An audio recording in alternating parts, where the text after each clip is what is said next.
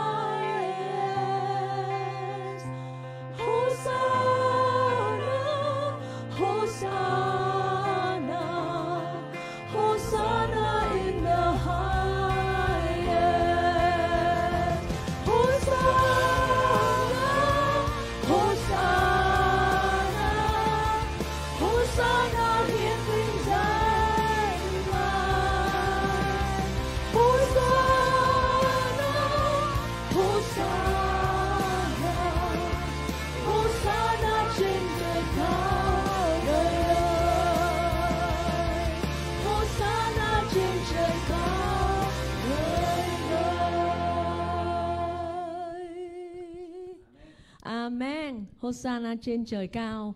Chúng con xin tán tụng hồng ân Chúa. Ơn Ngài là vô đối, Chúa ơi. Nhất là trong mùa tạ ơn này, Chúa ơi.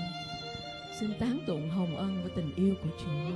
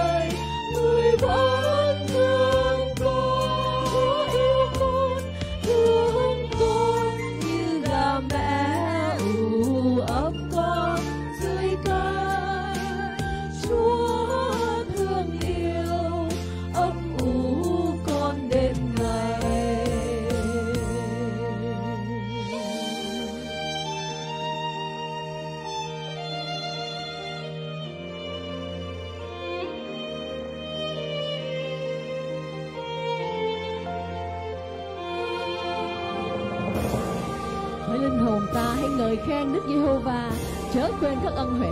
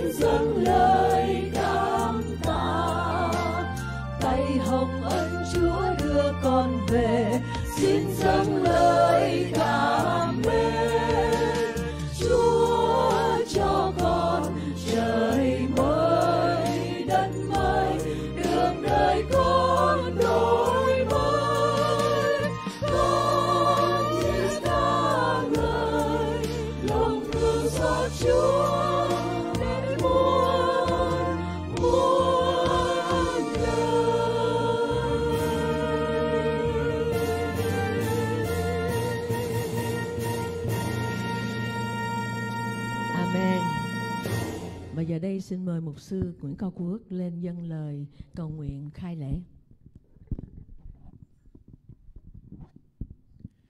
Ngợi khen tôn vinh cảm tạ Chúa là Đức Chúa Trời hằng sống, đấng chúng con thờ phượng và hầu việc. Chúa ơi, chúng con cảm ơn Chúa vì những bài hát chúng con vừa ca ngợi Chúa rung động đến tâm lòng của chúng con khi chúng con biết Ngài ấp ủ cuộc đời chúng con như gà mẹ cho gà con. Chúa ơi, chúng con tạ ơn Chúa vì tình yêu đời đời này và xin Chúa nhắc nhở mỗi cuộc đời chúng con buổi sáng nay đến đền thờ của Chúa với tâm lòng biết ơn và dâng lời tạ ơn Ngài. Con cầu nguyện xin quyền phép của Đức Thánh Linh hành động trên buổi nhóm của chúng con. Chúc phước cho hết hãy mỗi chúng con cảm nhận được tình yêu của Chúa một cách sâu xa và xin Chúa sức dầu cho đầy tớ của Ngài là một sư tạ huy trường để ông có lời của Ngài ban phát cho hội chúng và mở lòng chúng con để chúng con đón nhận lời của Ngài để làm linh lương nuôi dưỡng cuộc đời chúng con trên bước đường theo Ngài. Xin đặt vào môi miệng của chúng con lời tạ ơn Chúa, tiếp tục trong sự ca ngợi, trong lời chứng xin danh của Ngài được vinh hiển qua mỗi đời sống chúng con. Chúa ơi, chúng con đứng đây như là châu trước mặt Ngài, chờ đợi sự xuống phước của Chúa. Xin bao phủ chúng con ở trong quyền năng của Đức Thánh Linh. Chúng con cảm ơn Chúa và hiệp chung cầu nguyện nhân danh Đức Chúa Giêsu Christ. Amen. Xin chúng ta đồng an toàn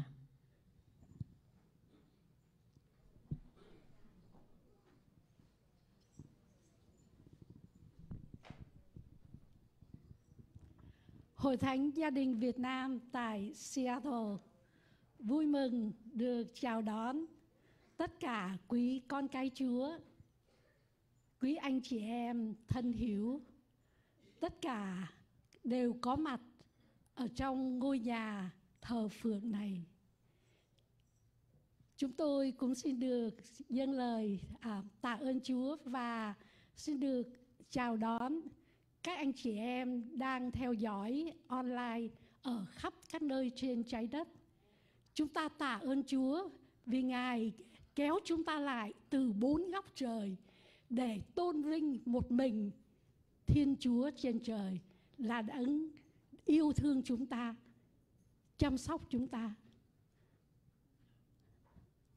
Mình tin rằng tất cả mọi người đều cảm động khi lắng nghe, khi dâng lời ca tiếng hát buổi sáng hôm nay. Và nếu đi ngược dòng lịch sử để nhớ về lễ tạ ơn thì chúng ta hiểu rằng những người đến đầu tiên ở trên lục địa này hiểu biết nhận ra rằng không phải là tự nhiên mà họ vượt được đại tây dương. Không phải là tự nhiên mà họ đến được nơi vùng đất mới. Không phải là tự nhiên mà họ có cơ hội mới. Và mà họ muốn ghi nhớ ngày đó, muốn con cháu đời đời về sau biết về ngày đó và kỷ niệm ngày đó mỗi năm, nên chúng ta có ngày lễ tạ ơn hôm nay. Phải không ạ? À? giờ phút này hội thánh có một món quà đặc biệt xin được dành tặng cho tất cả. Nếu chúng ta nghĩ rằng một năm 36, 365 ngày như là 365 trang vở của quyển sách 2022 thì xin tất cả chúng ta cùng theo dõi để xem quyển sách 2022 của Hội Thánh như thế nào. Trong phần năm 2022 nhìn lại. Xin chúng ta cùng theo dõi.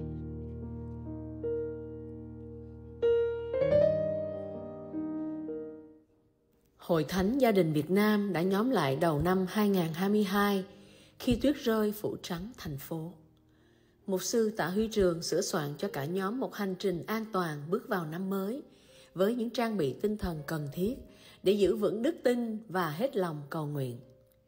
Tại Việt Nam, các bạn trẻ trong gia đình hội thánh cũng vượt đường xa qua bao trạm kiểm soát để đến thăm đồng bào Hờ Mân tại địa điểm đầu biên giới Điện Biên. Các bạn tặng áo lạnh cho các em nhỏ và nhu yếu phẩm cho các gia đình khó khăn. Đồng bào ở đây chỉ ăn cơm trắng và nước lọc. Mỗi năm chắc chỉ được ăn thịt một lần. Từ Seattle, Washington, một tình nguyện viên của Hội Thánh Gia đình Việt Nam đã tham gia chuyến truyền giáo y tế tại đất nước Georgia. Phái đoàn thăm viếng, khám bệnh, cho thuốc, tặng nhu yếu phẩm cho người dân tộc Kurdish đang sinh sống trong những cảnh đời nghèo khó, bấp bênh trong các trại tị nạn. Vì người Kurdish vốn đã mất đất nước của mình và phải sống lưu lạc hàng nghìn năm qua, rải rác ở các trại tị nạn nhiều nơi trên thế giới. Đoàn cũng đã gặp những trẻ em không biết hai chữ quê hương là gì. Các em ngơ ngác trên đất người, tay ôm những con búp bê trần trụi, cũ kỹ, bạc màu, bám lấy những người khách viếng. Có những bà mẹ tay bế con, tay cầm gói quà nhỏ, lầm lũi đi vào những ngôi hộ vá víu bằng tôn trong một buổi chiều đông lạnh cắt da. Có những thanh niên không hề biết đến hai chữ tương lai. Nhóm đã đến thăm viếng, gửi chút quà cùng lời nhắn nhủ, khích lệ và cầu nguyện cho một ngày mai tốt lành, cho từng người, từng gia đình tìm thấy niềm tin nơi Thiên Chúa là đấng cung ứng cho mọi nhu cầu. Cũng đầu năm nay, Hội Thánh đã lại tưng bừng cùng vui một mùa xuân thịnh vượng với cộng đồng sau hai năm bị gián đoạn vì dịch lệ. Nên niềm vui đã như được nhân đôi với những câu chào và những ánh mắt thật là thấm thiết. Tháng 2, như thông lệ hàng năm, gia đình hội thánh đi nghỉ dưỡng tại một nhà nghỉ đông ở vùng ven biển. Các anh chị em đã có những ngày cùng sinh hoạt rất thân tình với nhau, cùng ca hát, nhảy múa và thờ phượng và cũng mừng kỷ niệm ngày cưới cho gia đình mục sư Tạ Huy Trường. Cũng trong tháng 2, khi cuộc chiến Ukraine và Russia bùng nổ, cũng vào thời điểm này, người chị em trong hội thánh qua chuyến đi Medical Missionary ở Georgia đã có cơ hội cùng làm việc với các thanh niên thiện nguyện Ukraine trong nhóm Youth with a Mission, YWAM. Giờ đây lại nhận được tin khẩn từ các bạn thanh niên ấy, xin được cầu nguyện và sự trợ giúp vì các thành phố ở Ukraine đang bị tấn công và tàn phá. Hội Thánh cùng với gia đình ngày nay đã kêu gọi sự đóng góp tài vật cũng như lời cầu nguyện để giúp các thanh niên trong nhóm thêm khả năng cứu thương và trợ giúp cho những người neo đơn, mất khả năng tản cư phải ở lại trong thành phố. Tháng 4, Hội Thánh tưng bừng và long trọng đón mừng lễ Chúa Phục sinh cùng có sự tham dự của một số anh chị em trong cộng đồng mừng Chúa cứu thế đã sống lại. Lần thứ hai được gặp lại các thân hữu trong cộng đồng tay bắt mặt mừng, tất cả đều vui mừng cảm tạ về sự bình an và sự sống còn Chúa đã ban cho để còn mạnh khỏe và còn được gặp lại nhau. Tháng 5, Hội Thánh có lễ dân con, một thành viên mới, bé trai khấu khỉnh Shinji là một phép lạ Chúa ban, đã vượt qua được những khó khăn thách thức trong thời kỳ mẹ thai ngán bé. Bé đã được dâng lên cho sự quan phòng của Chúa trong lời cầu nguyện của ông bà, cô chú và toàn thể hội thánh. Tháng 6 vẫn là tháng hội thánh đã chọn để cùng tri ân cha mẹ và cùng nhau cầu nguyện cho đấng sinh thành, đấng dưỡng dục cho mỗi người trong chúng ta. Tháng 7, cả hội thánh cùng nhau lên dự buổi thờ phượng ngoài trời với hội thánh cộng đồng Elderwood của mục sư Nguyễn Cao Quốc. Sau đó cùng nhau hát thờ phượng và dự picnic với nhau. Đặc biệt hơn nữa là có sự tham dự của một số các anh chị em và các cháu cùng thờ phượng với hội thánh qua phần trực tuyến, này đến thăm từ tiểu bang Tennessee. Cảm tạ ơn Chúa cho một buổi thông công rất vui và ấm áp tình thân, tuy trời mùa hè hôm đó lại xe lạnh. Tháng 8, Hội Thánh tổ chức một buổi thờ phượng ngoài trời ngay trên sân cỏ phía trước nhà thờ và cũng picnic lunch theo sau. Lần này Chúa đã ban cho một buổi sinh hoạt ngoài trời đầy nắng ấm. Làn khói thơm từ lò barbecue của anh Robin, tiếng cười reo của các trẻ nhỏ và sự hội ngộ của những thân hữu trên sân cỏ đã làm rộn rã cả một buổi trưa bên nhau, hứa hẹn một mùa hè năm tới sẽ cùng nhau thờ phượng ngoài trời thường xuyên hơn. Đáp lời kêu gọi, trong tháng 9, Hội Thánh Gia đình Seattle lại hỗ trợ cho nhóm thiện nguyện trẻ tại Việt Nam thực hiện một chuyến đi thứ hai lên Điện Biên, đến thăm các bản làng dân tộc thiểu số ở giáp ranh biên giới Lào Việt. Nhóm đã thăm hỏi trao quà cho các gia đình nghèo, đặc biệt tặng hơn 140 phần quà cho các em nhỏ, kể cả cặp sách để chuẩn bị mùa học tới cho các em. Tuy các món quà đơn sơ không giúp vơi đi được sự đói khổ quanh năm, nhưng đã đem lại rất nhiều sự khích lệ và hy vọng cho bản làng trên vùng cao. Tháng 10 đã đến với bao nhiêu cung bậc cảm xúc. Đầu tháng, nhóm phụ nữ có cuộc tĩnh tâm, thờ phượng và cả hội thánh mừng baby shower cho cặp vợ chồng trẻ Kim và Thảo Nguyên đang mong đợi một bé gái sắp ra đời. Jonathan giờ đây sắp sửa được lên chức làm anh hai. Ngay tuần sau đó, vài chị em tình nguyện viên của gia đình hội thánh đã bay qua đến tận Ukraine để thăm hỏi, gửi cứu trợ và động viên tinh thần các bạn thanh niên của Youth with a Mission YWAM một lần nữa đang nỗ lực xây dựng những căn nhà nhỏ cho đồng bào trước khi mùa đông khắc nghiệt sẽ đến. Thành phố Lviv vẫn đang dưới tầm ảnh hưởng của bom đạn và nguy cơ bị tàn phá. Những người trẻ trong quân phục vẫn trang trọng đưa tiễn đồng đội mình vừa nằm xuống trong cuộc chiến vẫn còn đang tiếp diễn. Cũng trong tháng 10, không ai có thể ngờ rằng gia đình, hội thánh và cộng đồng sẽ thương tiếc chia tay chị Võ Thị Cúc vừa nghỉ an trong Chúa. Tuy chị đã đi xa, nhưng di sản đức tin, đời sống nhu mì, tấm lòng nhân ái của chị luôn mãi là ánh sáng, sưởi ấm mọi tấm lòng đang than khóc sự ra đi rất nhanh của chị. Trong suốt năm vừa qua, Hội Thánh cũng luôn vui mừng đón chào một số anh em không cùng ngôn ngữ cùng đến thờ phượng Chúa và bẻ bánh với mọi người trong giờ thông công như Benji, Eddie, Robin. Và mùa tạ ơn năm 2022 năm nay cũng đánh dấu đúng một năm Chúa đem mục sư Tạ Huy Trường đến cùng đồng hành với gia đình hội thánh trong một thời điểm nhiều thử thách và nhạy cảm. Hội thánh cũng vui mừng được đón tiếp vào gia đình của mình là cô Thanh, vợ mục sư và ba con Isabella, Nehemiah and Elijah. Với trách nhiệm của một người hướng dẫn tâm linh, mục sư đã là linh hồn sống của hội thánh. Những bài giảng tâm huyết và sâu sắc với cả chân tình của ông đã lôi cuốn người nghe từ trong nhà thờ lẫn trên trực tuyến và sau đó qua YouTube channel của Hội Thánh.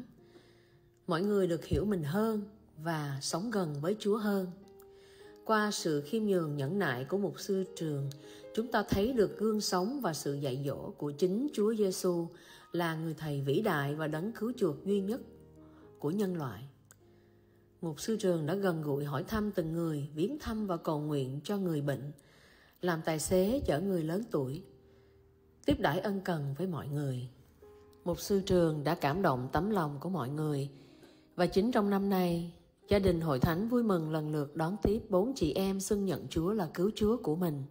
Đó là cô Na, cô Tuyết, em Hương và chị Linh. Sự tham dự của một sư trường và sự quay về tiếp nhận Chúa cứu thế là một ân sủng đặc biệt Chúa đã dành riêng cho hội thánh.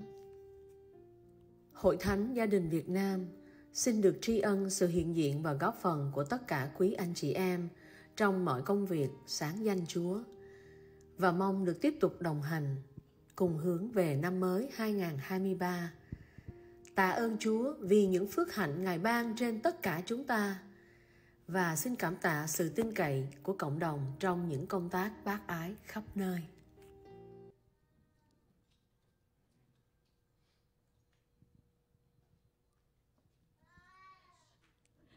Video clip này được hoàn thành vào lúc 11 giờ đêm tối hôm qua. Thành ra đây là à, lần chiếu đầu tiên à, và à, dù chính mình cũng là người được tham dự cũng như là um, soạn hình. Nhưng mà nhìn những cái này lòng mình cũng hết sức xúc động.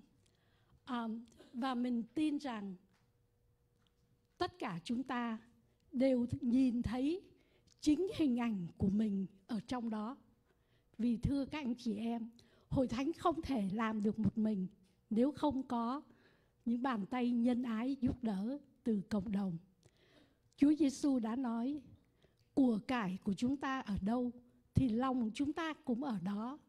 Nên khi quý anh chị em đóng góp vào những công tác từ thiện thì chính quý anh chị em đã đóng góp thêm một phần ăn nữa, thêm một miếng thịt nữa vào trong những bát cơm chỉ có cơm và nước lọc như là các bạn ở Việt Nam đã báo cáo cho chúng ta.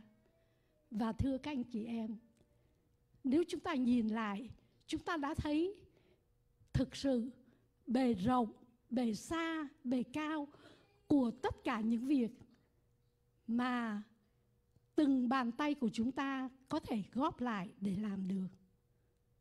Từ châu Mỹ, chúng ta về châu Á, chúng ta qua Âu Châu, chúng ta đến với những cảnh đời khó khăn nhất.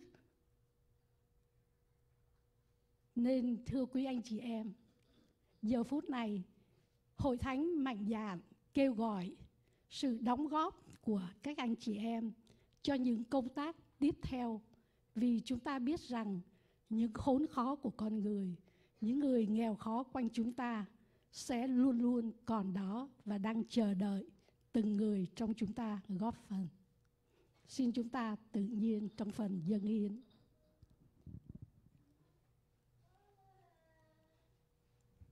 Và giờ phút này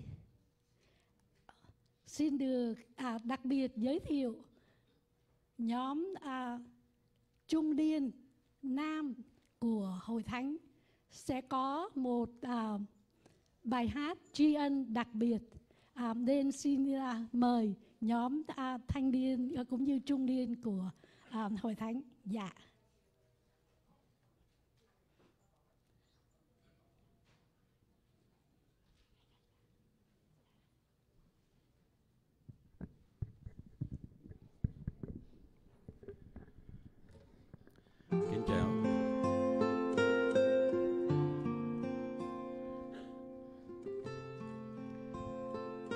Kính chào à, tất cả à, quý ông bà anh chị em. Tôi nghĩ là chúng ta tôn vinh Chúa không phải vì chúng ta có khả năng tôn vinh Chúa mà chúng ta tôn vinh Chúa vì Ngài xứng đáng được sự tôn vinh của chúng ta. Amen. Chúng ta thấy những điều tốt lành mà Chúa đã làm à, cho mỗi cá nhân chúng ta và qua đời sống của chúng ta cho cộng đồng và cho thế giới. Chúng ta biết ơn Chúa vì Ngài cho chúng ta có cơ hội làm được những điều đó. À, hôm nay thì tôi có ý là muốn mời những người nam để tôn vinh Chúa. mà người nam ở trong hội thánh này ít khi nào xuất hiện lắm. Họ quý dữ lắm, cất rất là kỹ. Nhưng mà tôi nghĩ là chúng ta tôn vinh Chúa bằng tấm lòng của mình. Cho nên là tôi mời quý ông, mời những người nào mà thấy mình là nam chúng ta cứ việc tiến lên. Chúng ta tiến lên, chúng ta hát. Nhà chúng ta cùng hát với nhau. Mời mời mời tất cả những người nam. Nhà. Ở trên đây chúng ta sẽ có một cái bài hát Give Thanks rất là đơn giản và có tiếng Việt và có tiếng Mỹ. Cho nên khi nào á, mà người nào hát được tiếng Việt thì khi nào chiếu tiếng Việt lên hát tiếng Việt. Người nào hát được tiếng Mỹ khi nào chiếu tiếng Mỹ lên hát tiếng Mỹ. Và như vậy thì chúng ta cùng ca ngợi Chúa với nhau. Amen. Amen. À, chú Hòa, à, mấy chú có muốn ờ, lên tôn vinh Chúa chung không? Mời mời mời mấy chú lên lên lên lên đứng với mục sư, cảm ơn. Dạ, cũng thấy có mấy à, anh em trẻ đó mình cứ mạnh dạn đó Please, please. We had a simple song together, okay? We sing not because we had a good voice. We sing because God, He worthy our to receive our worship. Yeah, come in. Thank you. Thank you. Yeah. Yes. Cool. Right on. Nehemiah, Elisha, come, come, come, come. Please, just come. Amigo. Give give thanks to the Lord, okay? He deserves our praise. Come on. Lên lên với bà, come on, come on. Lên đứng đây với bà, come on.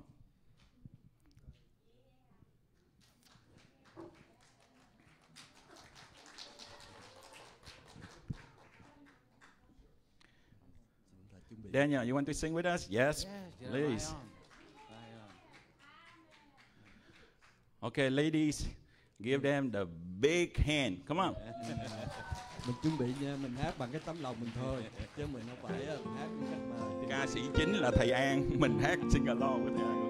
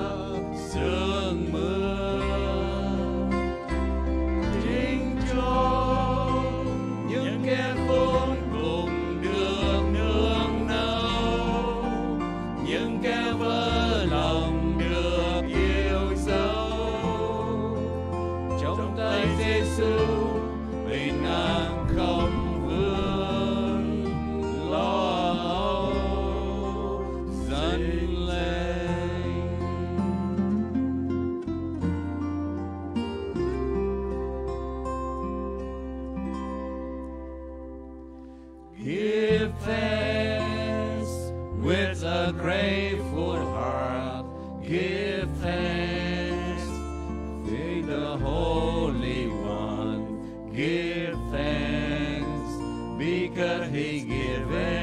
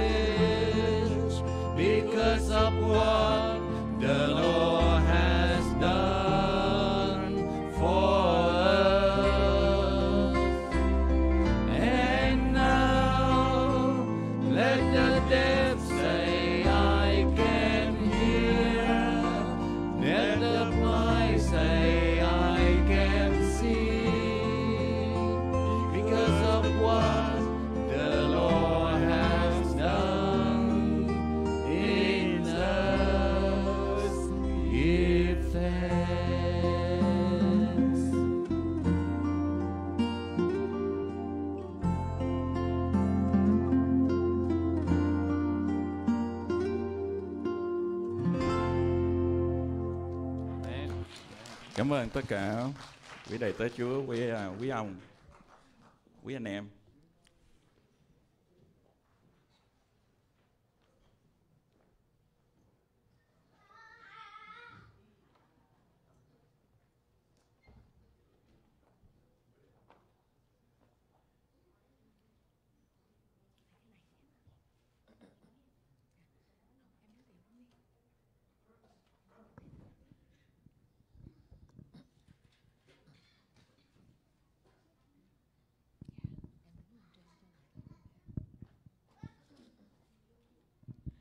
Kính chào mục sư, kính chào hội thánh. À, cảm tạ ơn Chúa. um, Chúa cho mỗi chúng ta được bình an và để cho mỗi người chúng ta được uh, đến thờ phượng, đến uh, ngôi nhà Chúa chúng ta để được tôn vinh và được có cơ hội dâng lời cảm tạ ơn Chúa. Và một lần nữa à, cảm ơn hội thánh đã cho à, Thúy Hằng được một cơ hội nữa được về với hội thánh và được dâng lên Chúa với một bài thơ vạn lời tạ ơn. Vâng thưa hội thánh, hỡi Jehovah Đức Chúa Trời tôi, tôi sẽ cảm tạ Chúa cho đến đời đời.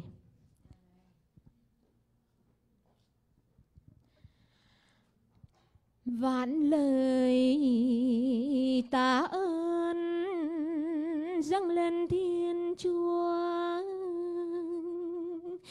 đấng thánh năng quyền nắm giữ đời con từ thuở vô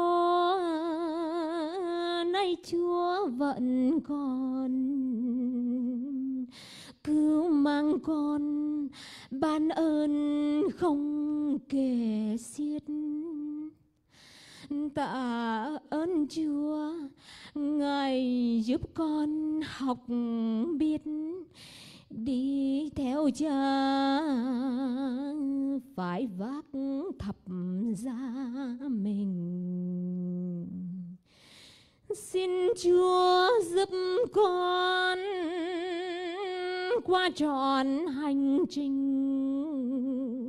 Giữa lúc biển đời, lao sao sống vô phước chúa vầng ban,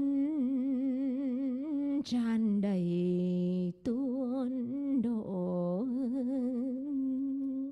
ân điện ngài đã ban phát nhưng không cho những ai tìm kiếm chúa hết lòng, được bơi lội trong dòng sông phước hạnh, tạ ơn chúa. Ngài luôn đi bên cạnh tiếp trợ nhu cầu vật chất tâm linh tạ ơn Giêsu là đấng công bình. Ngài không để con lo âu thiếu thốn. Chúa thêm sức con. Những khi khốn đốn bên vực con, lúc cám dỗ vây quanh, bao vụ con, khỏi ma quỷ hành hành ngài ban sức thiêng giúp con vượt thắng Chúa chữa lành con ấy cắt lòng cay đắng. Không bởi ơn ngài sẽ khó vượt qua gánh nặng đời mình, biết cày vào cha. Trong ý chúa, con cúi đầu vâng phục gia đình con được an vui hạnh phúc qua mọi cảnh đời. Chúa vẫn yêu thương tạ ơn cha đã chu cấp mọi điều. Ơn của chúa đời đời luôn ghi nhớ chúa đấng nhân từ, ngài hằng nâng đỡ. Nguyện đời con xin chúa sai dùng, rao truyền danh cha yêu chúa thủy chung vì yêu, vì chúa yêu chúng con, vô điều kiện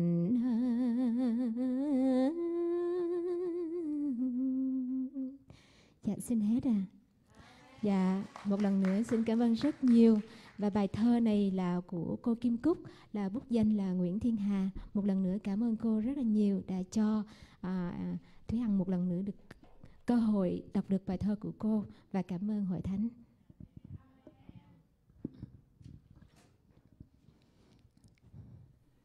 Và giờ đây xin chúng ta cùng lắng nghe một à, à, một nhạc phúc à, một nhạc nhạc phẩm tình Chúa tình con.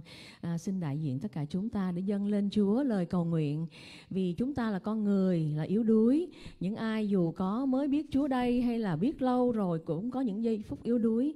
Nhưng Chúa là đấng thành tín và Chúa vẫn đi với chúng ta và Chúa sẽ đi với chúng ta đến suốt cuộc đời nếu chúng ta tính thác đời chúng ta lên cho Chúa. Xin mời chị Lê Minh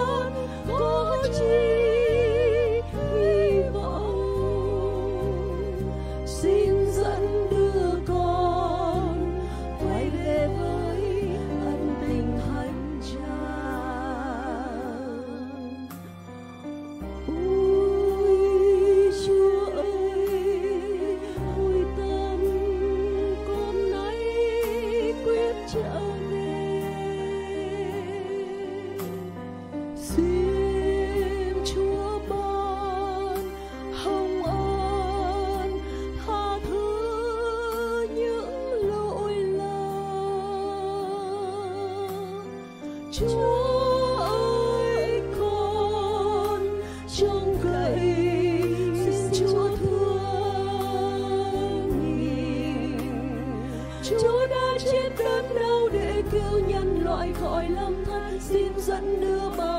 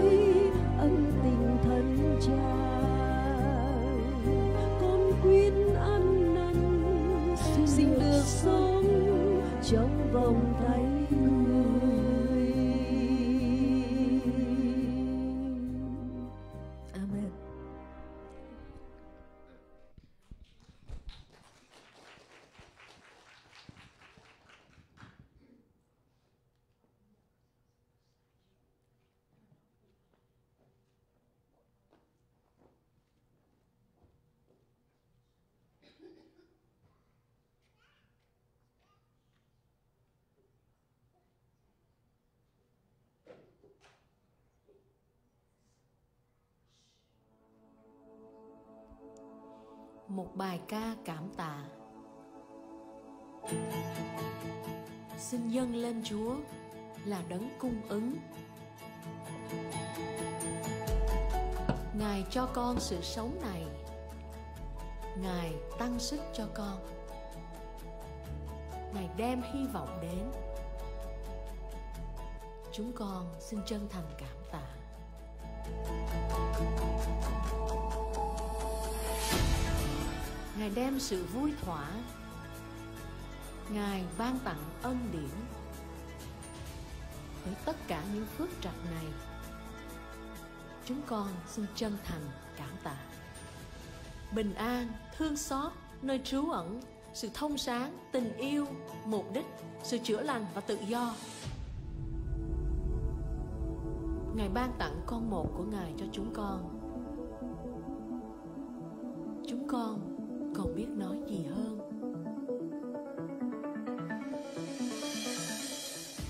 Xin dâng lên đời sống của chúng con. Xin dâng lên sức lực của chúng con. Với tất cả tấm lòng của chúng con. Xin cảm tạ ơn ngài mỗi ngày trong cuộc đời. Chúng con xin tôn vinh danh chúa vì tất cả những điều ngài đã làm và mọi phương cách ngài đã ban cho amen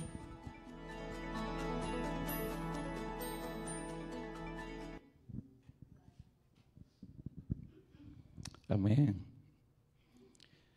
Một lần nữa tôi ờ, kính chào mừng tất cả quý ông bà, anh chị em đang có mặt ở tại phòng nhóm ngày hôm nay. Cũng kính chào mừng tất cả quý ông bà anh chị em theo dõi ở trên livestream cũng như có cơ hội sẽ xem lại livestream của hội thánh. Thật sự là tôi ngồi ở trong đền thờ ngày hôm nay với những cái cung bậc à, cảm xúc khác nhau.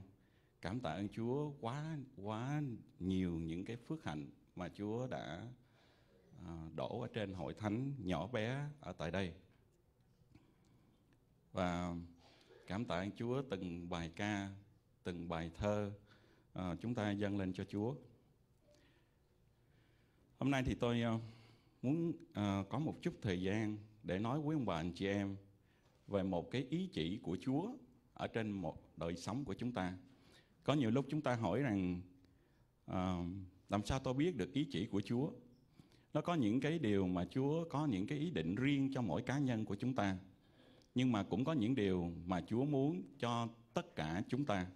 Và một trong những cái điều mà Chúa muốn cho tất cả chúng ta đó là phải biết tạ ơn Chúa ở trong mọi cảnh ngộ. Một sư chưa có biết dùng cái này á. Ok. Quý ông bà anh chị em, hôm nay thì tôi ờ, muốn các bạn chị em xem lời của Chúa.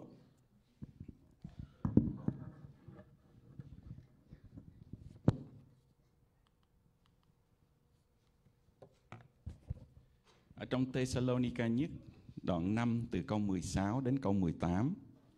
Lời Chúa nói rằng hãy vui mừng mãi mãi, cầu nguyện không thôi, cầu nguyện không ngừng, trong mọi hoàn cảnh hay là trong mọi cảnh ngộ, hãy cảm tạ vì đây là ý muốn của Đức Chúa Trời cho anh chị em trong Chúa cứu thế Giêsu.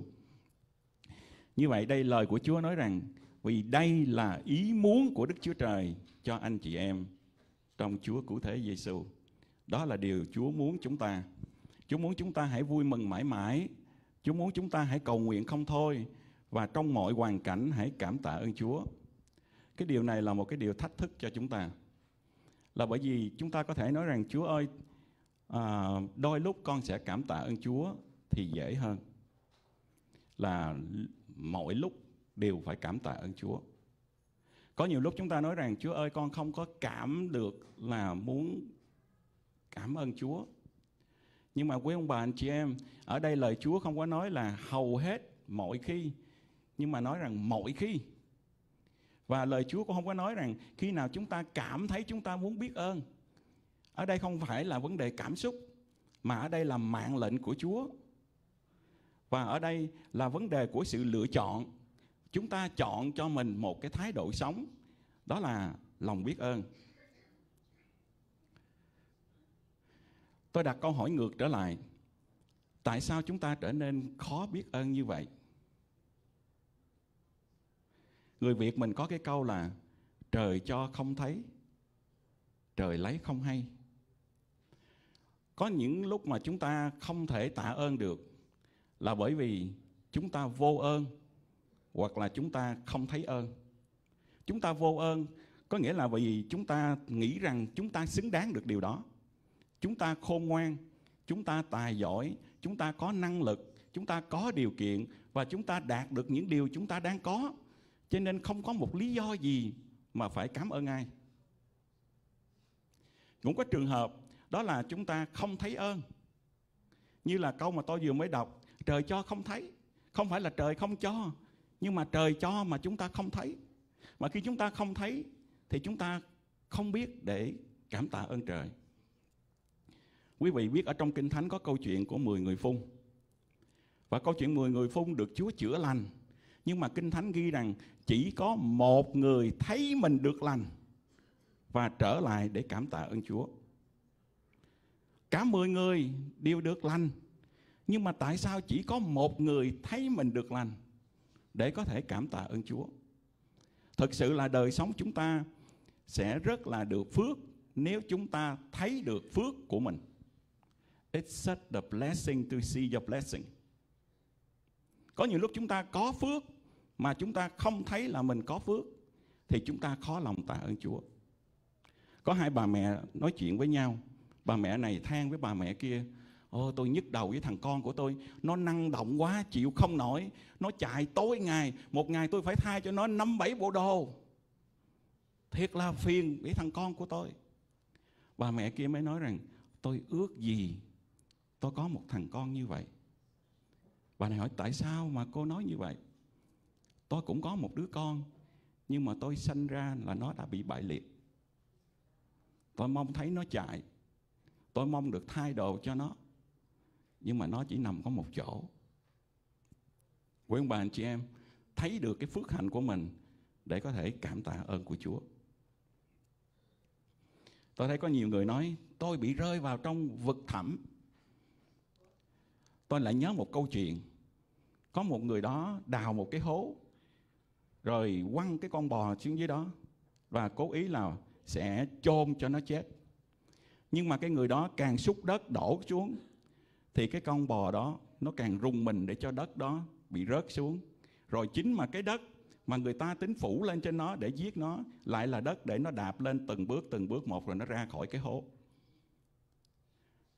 chúng ta nhìn thấy những cái phước hạnh mà Chúa ban cho chúng ta tôi nghe một cái lời làm chứng của anh Nick ở bên Úc mà anh đã từng qua Việt Nam chúng ta đã làm chứng và chia sẻ cho những người khuyết tật. Anh không có tay, không có chân. Và anh nói rằng tôi cảm tạ ơn Chúa. Tôi cảm tạ ơn Chúa tôi không có tay, không có chân. Là tại vì có những quốc gia người ta không cho giáo sĩ vào để giảng đạo. Nhưng mà họ thấy tôi không có tay, không có chân gì chân, họ không màng, cứ việc vào. Làm sao để cảm tạ ơn Chúa được như vậy? Có nhiều người nói, mục sư ơi, mục sư không hiểu hoàn cảnh cuộc đời của tôi cuộc đời của tôi đổ vỡ tan nát tôi thấy trên facebook có một người đăng một cái ờ, một cái bài như một cái bài thơ. Và tôi thấy ý nghĩa tôi viết lại bằng tiếng mỹ nhưng mà tôi dịch lại nôm na là như vậy. Cảm ơn chúa vì những sự broken những cái sự tan vỡ.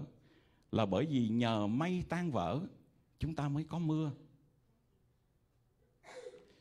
Là nhờ đất được vỡ ra chúng ta mới có mùa vụ. Nhờ hột giống được vỡ ra, chúng ta mới có được sự sống. Quý ông bà anh chị em, tôi nghe một cái phỏng vấn của CNN phỏng vấn mục sư Rick Warren là một mục sư nổi tiếng ở tại Hoa Kỳ. Hội thánh của ông là Saddleback Church ở tại California có trên 50.000 tín hữu. Và người ta phỏng vấn ông là bởi vì con trai của ông đã tự giận mà chết. Thì ông nói rằng ông có hàng chục ngàn, có khoảng ba chục ngàn thơ đã gửi về để để chia sẻ những cái buồn ở trong gia đình, an ủi khích lệ gia đình của ông. Nhưng mà ông nói là ông cảm tạ ơn Chúa hơn hết là những cái lá thơ mà người ta nói rằng, tôi tin Chúa là nhờ con của ông. Tôi tin Chúa là nhờ con của ông. Tôi đã quan sát cuộc đời của con của ông. Tôi đã thấy cuộc chiến mà con của ông phải đối diện với những cái depress ở trong đời sống. Và ông Rick Warren nói ở trong nước mắt. Và tôi rất là cảm động cái câu đó. Ông nói rằng ông cảm tạ ơn Chúa Vì trong vườn ân sủng của Chúa thì một cái nhánh gãy cũng có thể sanh trái. In the garden of God's grace, even the broken branch bear fruit. Quý ông bà anh chị em, tôi đếm lại ơn phước ở trong cuộc đời của mình và ơn phước mà tôi đồng hành với quý ông bà anh chị em trong một năm qua. Tôi xem điều đó ở trong nước mắt. Thật sự, những gì mà tôi làm được và đồng hành với quý ông bà anh chị em trong một năm qua là bởi vì tôi là một cái nhánh gãy ở trong vườn ân sủng của Chúa. Và Chúa đã thương xót để cho cái nhánh gãy đó ở trong vườn ân sủng của Chúa cũng có thể sanh trái. Quý ông bà, anh chị em, phải nhìn thấy những cái phước hạnh ở trong đời sống của mình để có thể cảm tạ ơn Chúa. Tôi nói ờ, có người họ nói rằng, đứng trước một cái sinh đầy chén dơ, mấy cô về nói trời ơi, một đống chén dơ thì hãy cảm tạ ơn Chúa là vì gia đình mình có nhiều đồ ăn. Mình vào trong phòng của con mình. Thấy giường của nó nào là không có ngăn nắp, bề bộn. Nhưng mà cảm tạ ơn Chúa vì tối qua nó có một giấc ngủ được ấm cúng. Quý ông bà, anh chị em, ngồi than phiền, tóc của tôi cho nó không có nằm như cách tôi muốn, bề bộn rối bời. Hãy cảm tạ ơn Chúa vì những người bị ung thư muốn có một cái cọng tóc trên đầu không có. Hãy nhìn thấy những cái phước hạnh ở trong đời sống của mình mà dâng lời cảm tạ ơn Chúa tôi có ờ, năm năm điều mà tôi muốn nói với ông bà anh chị em năm lý do mà chúng ta có thể tạ ơn Chúa, dù là bất cứ hoàn cảnh nào. Cái điều thứ nhất tôi muốn nói đó là trong Roma đoạn 8 câu 28 thì nói rằng mọi sự hiệp lại làm ích cho kẻ yêu mến Chúa. Lời của Chúa nói rằng mọi sự hiệp lại làm ích cho kẻ yêu mến Chúa. Có nghĩa là không phải mọi sự tốt mà là có thể là điều xấu, có thể là điều tốt, điều xấu và thậm chí những điều tồi tệ có thể là những điều do thiên hạ gây ra cho chúng ta và có những điều do chúng ta tự đưa mình vào trong những cái khốn khổ đó nhưng mà Chúa hứa với chúng ta là Chúa là đấng toàn năng có thể phối tất cả những điều đó lại để đem ra những cái điều ích lợi cho đời sống của chúng ta. Tôi nghe kể một câu chuyện, nói là có ông bà đó sẵn sàng đi đi châu Phi vào trong những bộ lạc để có thể rao giảng phúc âm. Nhưng mà với cái lòng sẵn sàng đi vào một cái nơi nguy hiểm như vậy, nhưng mà tới hồi trước khi đi lại bị một cái tai nạn. Và cái tai nạn rất là nặng, tới nỗi là phải cắt bỏ một cái chân. Và người ta nghĩ rằng chắc là sẽ không còn cái ý định để muốn đi nữa nhưng mà sau khi cái chân lành và phải mang một cái chân giả vào trong nhưng mà ông bà vẫn không hề thối lui và quyết định là mình vẫn đi. Nhưng mà khi mà đi qua bên đó thì vào trong cái bộ lạc đó lại trúng cái bộ lạc đó là cái bộ lạc họ ăn thịt người. Cho nên là họ họ bắt à, ông bà lại. Nhưng mà khi mà họ bắt lên một cái chảo như là một cái chảo lớn gì đó họ chuẩn bị làm làm làm mần thịt hai người này thì Chúa lại khiến là ông đi gỡ cái chân giả của ông á, ông quăng vào trong cái chảo đó. Mà khi mà ông gỡ cái chân giả, ông quăng vào trong cái chảo đó là cả cái bộ lạc nó quỳ xuống nó lại, chỉ có thần mới làm được chuyện đó thôi. Đâu có ai mà tự nhiên gỡ cái chân quăng vô vậy. Thế là quỳ xuống lại hết. Thế là ông đi ra và ông nói về phúc âm, về tình yêu của Chúa cho họ. Và cả bộ lạc trở lại Chúa quý ông bà anh chị em có khi nào chúng ta cảm tạ vì cái chân què của mình không hay là có khi nào chúng ta như anh Nick cảm tạ là tôi không có tay, không có chân không? Mọi sự dịp lại làm ích cho kẻ yêu mến Chúa. Tôi thấy bà ăn ne ở trong Kinh Thánh cầu nguyện khi bà vẫn còn son sẻ cảm tạ ơn Chúa khi bà chưa có con. Bà Mary cảm tạ ơn Chúa vì bà có con là hài nhi Giêsu. David cảm tạ ơn Chúa khi con của mình chết. Chúa Giêsu cảm tạ ơn Chúa khi cầu nguyện cho một người sống lại. Chúa Giêsu với cái tinh thần cảm tạ của Ngài trở nên như một chữ ký ở trong cuộc đời của Chúa Giêsu. Khi Ngài quá bánh cho 5.000 người ăn, Ngài dâng lời cảm tạ. Khi Ngài cầu nguyện cho Lazarus sống lại, Ngài dâng lời cảm tạ. Khi hiện ra với hai người môn đồ đi về thành làng Emmaus, họ thấy rằng Ngài bẻ bánh tạ ơn là họ nhìn ra đó là Chúa Giêsu thì Ngài biến mất. Quý ông bà anh chị em, Chúa của chúng ta là đấng biết tạ ơn và Ngài dạy chúng ta biết tạ ơn. Phải tin rằng Chúa chúng ta là đấng có thể làm được mọi sự hiệp lại làm ích cho chúng ta.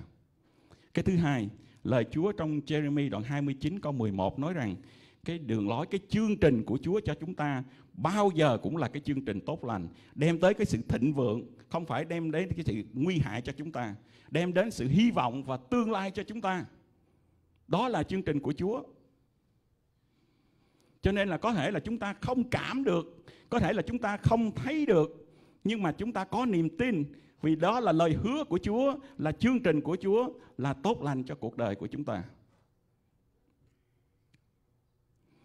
Cái thứ ba là chúng ta cảm ơn Chúa là trong cuộc đời thăng trầm của chúng ta thì ân sủng của Chúa vẫn có đủ cho chúng ta ở trong mọi cảnh ngộ. Trong trường hợp ông Phaolô, ông nói rằng ân sủng của Chúa đã đủ cho tôi và cái sức mạnh, cái quyền năng của Chúa được trọn vẹn ở trong sự yếu đuối của tôi. Cho nên là ông khoe khoe về cái sự yếu đuối của mình là bởi vì trong sự yếu đuối của mình thấy lên được cái sự quyền năng và mạnh mẽ của Chúa.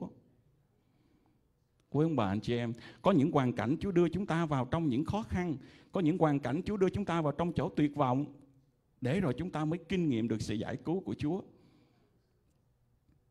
Tôi nói là Chúa đến để cứu Lazarus không phải đến lúc ở giường bệnh mà đến ở tới lúc phần mộ là để Lazarus mới cảm nhận được là Chúa là đấng cứu sống mình. Cho nên đó là điều khiến chúng ta có thể tạ ơn Chúa. Bao giờ ân sủng của Chúa cũng đầy đủ cho chúng ta. Đừng có bao giờ nghĩ rằng tôi đã quá tệ, tôi đã quá thất bại, tôi đã vào số vực quá sâu. Tuần rồi tôi có nói với ông bà anh chị em, ngay cả mình rớt ở trong vực sâu, Tôi dâng lời tôi cảm tạ ơn Chúa. Có người hỏi tôi, mục sư bị rớt vô trong vực sâu như vậy lấy gì mà cảm tạ ơn Chúa? Tôi nói là rớt trong vực sâu nhưng mà rớt từ độ cao nào, rớt với tốc độ nào và xuống ở cái sức mạnh như thế nào để cho chúng ta đủ thức tỉnh, để chúng ta đủ sợ mà nó không làm cho chúng ta tan nát đi. Cái đó được sự kiểm soát của Chúa. Ân sủng của Chúa đầy đủ cho mỗi ông bà anh chị em để chúng ta có thể tạ ơn Chúa. Không có điều gì có thể chia cắt tình yêu của Chúa đối với chúng ta. Đây là cái lễ tạ ơn đầu tiên mà tôi không còn ba của tôi. Ba tôi qua đời vào tháng 12 năm ngoái. Nhìn lại cái khoảng thời gian lớn lên ở trong nhà của cha tôi. Có những lúc cha tôi đánh đòn, có những lúc cha tôi rầy, có những lúc cha tôi phạt, nhưng mà tôi vẫn nói được rằng con cảm ơn cha. Tôi vẫn nói được rằng con cảm ơn cha. Là tại vì tôi biết cái tình yêu của cha. Quý ông bà anh chị em chúng ta thấy rằng cái cái cái, cái việc tạ ơn á nó phải đòi hỏi một cái đức tin và nó đòi hỏi một cái sự trưởng thành. Tôi muốn có một cái ví dụ. Quý vị chờ tôi một chút nha.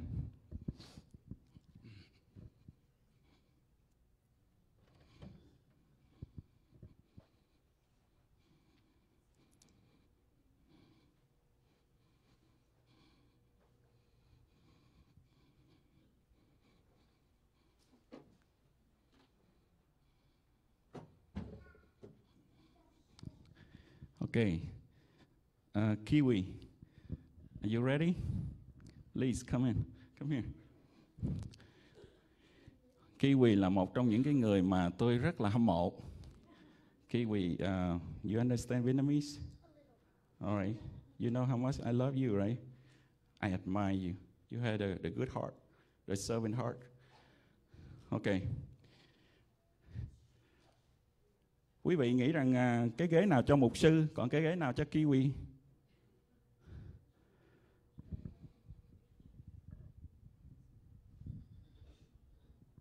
You are a good servant.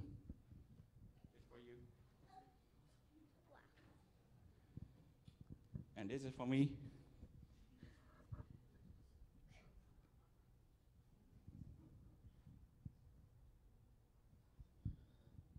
My neck even bigger than this.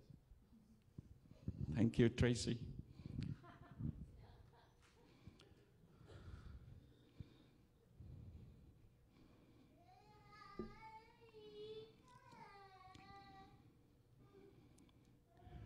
All right. Kiwi, you sit here. You sit here. Em sit here. Quý ông bà anh chị em, thường ở trong nhà chúng ta nó có hai cái bàn. Một cái bàn là cho trẻ con và một cái bàn là cho người lớn. Cái bàn cho trẻ con á là cái bàn thức ăn của con đâu, đồ ăn đâu, nước uống đâu. Và chúng ta chỉ cảm tạ ơn Chúa là khi nào có người bưng đồ ăn tới miệng cho chúng ta. Và chúng ta nghĩ rằng cái bàn đó là cái bàn của trẻ con. Nếu mà ông một sư trường vẫn còn đeo cái yếm này, vẫn còn ngồi của bàn trẻ con, quý vị thấy có mắc cười không? Nhưng mà vẫn có những con người lớn tuổi nhưng mà không có trưởng thành.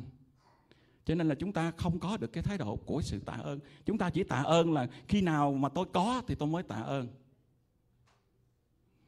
Nhưng mà quý ông bà anh chị em, cái sự tạ ơn nó không phải là theo lứa tuổi mà là theo sự trưởng thành. Có những người lớn mà không trưởng thành nhưng mà có những người nhỏ mà trưởng thành. Cho nên là Kiwi can be the good servant stand up Kiwi. See? Khi mà chúng ta thấy cái điều này thì chúng ta biết đây là người được phục vụ.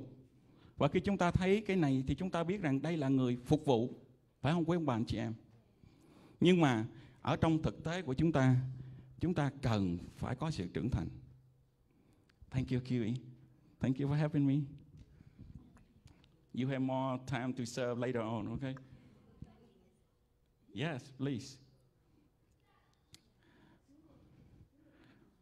Có một điều nữa tôi muốn nói với ông bà anh chị em. Đó là khi mà chúng ta ngồi ở cái bàn nhỏ này, chúng ta dễ tạ ơn Chúa là bởi vì có người bưng nước, có người bưng cơm, có người lo đồ ăn cho chúng ta. Nhưng mà Chúa muốn chúng ta phải có sự trưởng thành ở trong sự tạ ơn. Là khi chúng ta rời khỏi cái bàn mà người ta phục vụ mình để chúng ta có thể đến một cái bàn mà mình có thể phục vụ người khác để chúng ta không phải chỉ tạ ơn Chúa khi chúng ta được có những cái điều mà chúng ta được phục vụ mà chúng ta tạ ơn Chúa khi chúng ta có thể phục vụ cho người khác. Chúng ta không phải chỉ ngồi hoài ở trong cái bàn của con nít nhưng mà chúng ta phải có một cái bàn như David nói rằng Chúa dọn bàn cho tôi trước mặt kẻ thù nghịch tôi. Tức là trong cuộc sống của mình có những cái bàn mà mình ngồi mà mình biết rằng kẻ thù ở chung quanh mình, những khó khăn ở chung quanh mình, sự thất vọng, sự cay đắng, sự buồn phiền, Bao nhiêu điều nó vây hãm tâm trí của chúng ta Nhưng mà chúng ta vẫn có thể tạ ơn Chúa Là bởi vì Chúa vẫn ở đó với chúng ta và Ngài dọn bàn cho chúng ta, Mặc dù là cuộc sống chúng ta vẫn có những kẻ thù chung quanh. Đó là điều mà Chúa muốn chúng ta cần phải tạ ơn Chúa.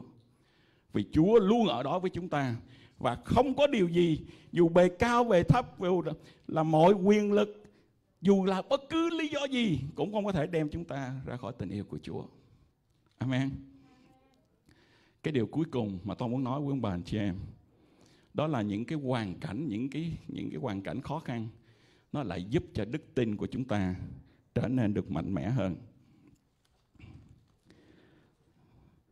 Tôi quên đọc cho quý ông bà chị em những cái câu kinh thánh đó bằng tiếng Việt để chúng ta dễ thấy hơn. Lời Chúa ở trong phi rơ nhất đoạn 1 câu 6 câu 7 nói như vậy. Dầu hiện nay anh em vì sự thử thách trăm bề buộc phải buồn bã ít lâu, hầu cho sự thử thách đức tin anh em quý hơn vàng hay hư nát.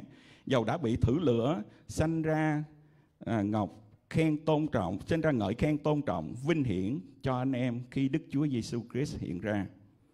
Như vậy thì chúng ta thấy ở đây nói rằng những thử thách trăm bề, những cái khó khăn mà chúng ta phải đối diện đó thực sự là nó giúp ích cho đức tin của chúng ta. Cũng giống như quý ông bà anh chị em vào trong phòng gym tập thể dục vậy. Phải không? Ô nặng quá, nặng quá, nặng quá. Nhưng mà chúng ta cứ phải chịu những cái áp lực đó thì tới một ngày chúng ta lại thấy là bắp cơ của mình được xây dựng.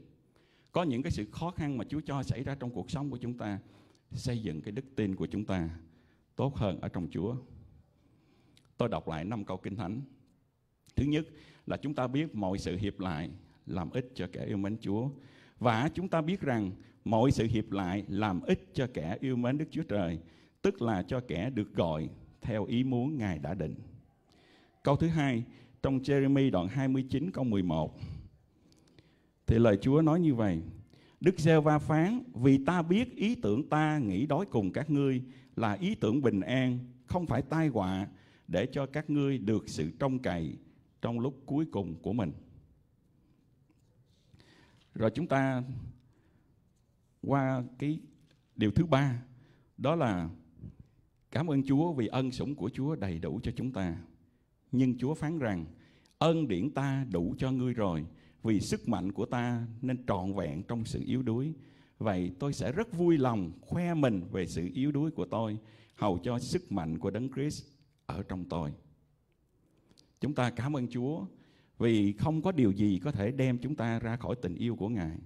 Phaolô nói, vì tôi chắc rằng bất kỳ sự chết, sự sống, các thiên sứ, các kẻ cầm quyền, việc bây giờ, việc hầu đến, quyền phép bề cao hay là bề sâu, hoặc một vật nào chẳng có thể phân rẽ chúng ta khỏi sự yêu thương mà Đức Chúa Trời đã chứng cho chúng ta trong Đức Chúa Giêsu Christ là Chúa chúng ta. Và điều cuối cùng, phi rê nhất, đoạn 1, câu 6, câu 7, Dầu hiện nay anh em vì sự thử thách trăm bề, buộc phải buồn bã ít lâu, hầu cho sự thử thách đức tin anh em quý hơn vàng hay hư nát, dầu đã bị thử lửa, sanh ra ngợi khen, tôn trọng, vinh hiển cho anh em khi Đức Chúa Giêsu Christ hiện ra. Như vậy, quý ông bà anh chị em, chúng ta có cớ để cảm tạ ơn Chúa. Amen. Tôi nói kết thúc để nói với bà anh chị em như vậy. Cái chữ then chốt á, là cái chữ cảm tạ trong mọi cảnh ngộ. Chúa không có nói là chúng ta cảm tạ về mọi cảnh ngộ, nhưng mà cảm tạ trong mọi cảnh ngộ. Chúng ta không có cảm tạ vì chúng ta có người thân bị ung thư. Chúng ta không có cảm tạ vì những cuộc chiến à, vô đạo đức để bức hiếp người khác. Chúng ta không có cảm tạ vì những cái tội ác xảy ra. Nhưng mà chúng ta cảm tạ được Chúa ở trong mọi sự việc đó. Giống như là chúng ta bị một cái tai nạn xe, chúng ta không có cảm tạ vì xe chúng ta tanh banh, nhưng mà chúng ta cảm tạ ơn Chúa vì chúng ta còn sống, chúng ta cảm tạ ơn Chúa vì chúng ta có bảo hiểm. Chúng ta vẫn nhìn thấy được những cái điều để chúng ta cảm tạ ơn Chúa trong cái sự việc đó. Tôi có nói với ông bà anh chị em, một cái người bị à, à, bị người ta giật đồ và bị té. Dân lời cảm tạ ơn Chúa nói gì bị giật đồ mà cũng cảm ơn Chúa. Nói phải tôi cảm tạ ơn Chúa. Tôi cảm tạ ơn Chúa vì cái đồ đó tôi đã được xài trước khi mà họ giật. Là cái điều thứ nhất. Cái điều thứ hai tôi cảm ơn Chúa là nó giật đồ tôi mà nó không giết tôi cái điều thứ ba là tôi cảm ơn Chúa là tôi không có phải rơi vào cái hoàn cảnh đi giật đồ như thằng đó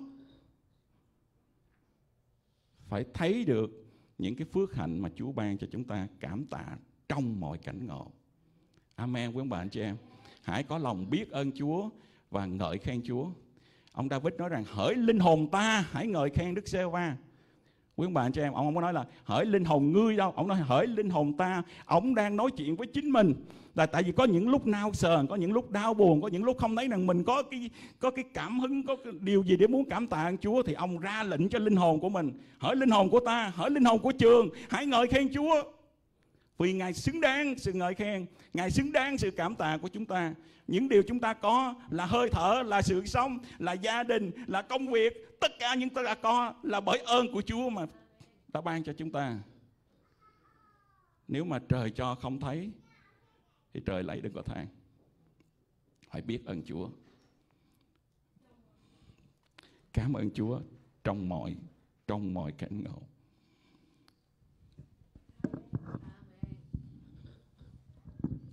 Xin cảm ơn một sư trường. Và cái điều mình tâm đắc nhất là Chúa dọn bàn cho chúng ta. Mình ờ, cảm thấy ờ, thực sự là cảm động trong điều đó vì có những lúc Chúa sẽ dọn bàn cho chúng ta mà cái bàn đó có kẻ thù, có nghĩa là có những thử thách gian lao phía trước. Nhưng mà chúng ta vẫn cảm tạ ơn Chúa vì Chúa ngồi đó ở chúng với chúng ta và Chúa sẽ giúp chúng ta vượt qua tất cả những gian lao đó. Cảm tạ ơn Chúa, xin chúng ta cùng đứng lên để dâng lời tri ân của chúng ta lên cho Chúa. Vì trong mọi cảnh ngộ, Chúa vẫn ở với chúng ta.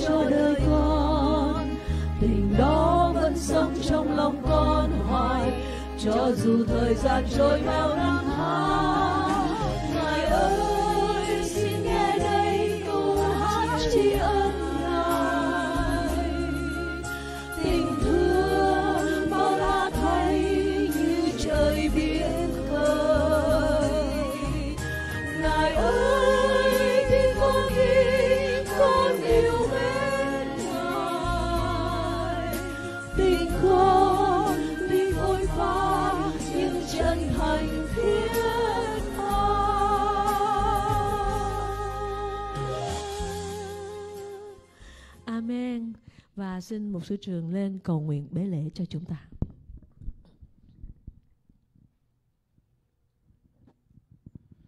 Tôi muốn ờ, dâng lời cảm tạ Chúa. Cảm ơn Chúa vì ờ, cha mẹ, cảm ơn Chúa vì ờ, vợ và các con của tôi có mặt ở đây. Có mẹ nuôi của con của tôi và có con nuôi của tôi ở đây. À, tôi cũng có một cái người good neighbor. Daniel, can you raise your hand? It's an honor to have you, Daniel. He an awesome, wonderful neighbor. Um, tôi muốn dâng lời cảm ơn Chúa tất cả con dân của Chúa ở trong hội thánh đã cho tôi cơ hội đồng hành với lại hội thánh của Chúa trong năm qua.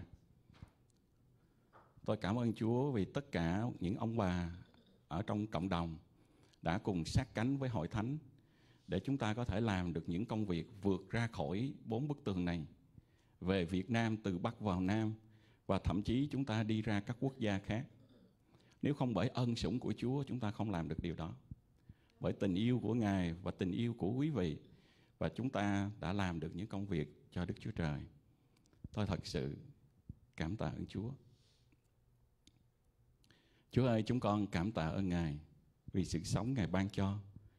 Chúng con cảm tạ ơn Ngài vì ở trong mọi điều ở trong cuộc đời này, những thăng trầm, những vinh nhục, những đau đớn, mọi hoàn cảnh chúng con biết rằng Chúa vẫn ở cùng với chúng con. Không điều gì có thể chia cắt tình yêu của Ngài đối với chúng con. Và chương trình của Ngài trên cuộc đời của chúng con bao giờ cũng là tốt. Và Ngài phối mọi điều lại để có thể làm ích lợi cho chúng con.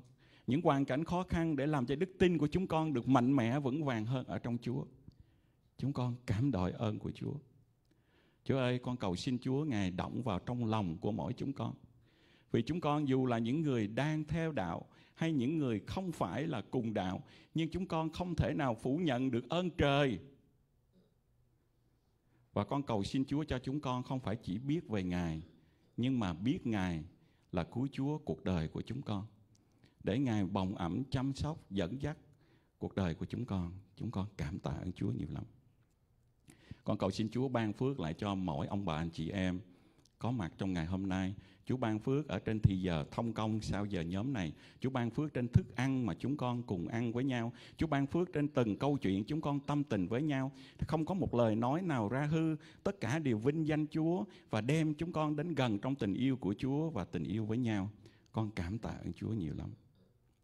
Nguyện xin Đức Chúa Trời ba ngôi, ban tình yêu thương của Đức Chúa Cha, ân sủng của Đức Chúa Con và quyền năng của Chúa Thánh Linh, sự thông công của Chúa Thánh Linh ở cùng toàn thể chúng con từ nay cho đến ngày Đức Chúa Jesus Christ trở lại. Amen. Amen. Và đến đây là lễ chung. À, chúng ta sẽ cùng thông công với nhau và chị Hạnh Dạ. bây giờ đang có vài lời với chúng ta. Chị nói luôn. Xin tất cả chúng ta à, cùng ngồi xuống. Dạ.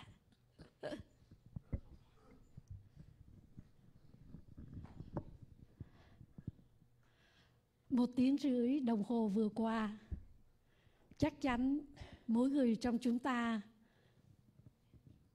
có những điều chúng ta sẽ ghi nhớ, phải không ạ? Có những điều sẽ làm thay đổi cách nhìn của chúng ta có những điều sẽ giúp cho chúng ta trong những ngày sắp tới nên hội thánh tạ ơn chúa vì cái điều tốt đẹp nhất mà hội thánh có thể làm không phải là thật đông người hay hội thánh thật vĩ đại, nhưng đó là đời sống của từng người thay đổi vì quý vị đã có mặt hôm nay tại đây.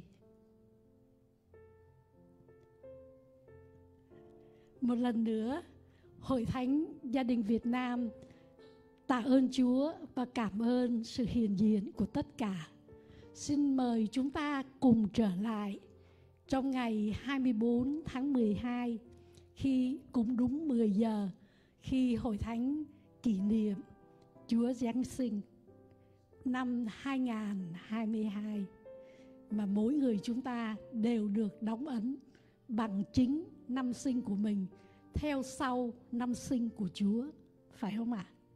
À? ra chúng ta rất là tạ ơn Chúa về điều đó và giờ phút này, như thông lệ của hội thánh, xin tất cả chúng ta cùng lên để chúng ta có một tấm hình chung, kỷ niệm lễ tạ ơn 2022 và tụi mình sẽ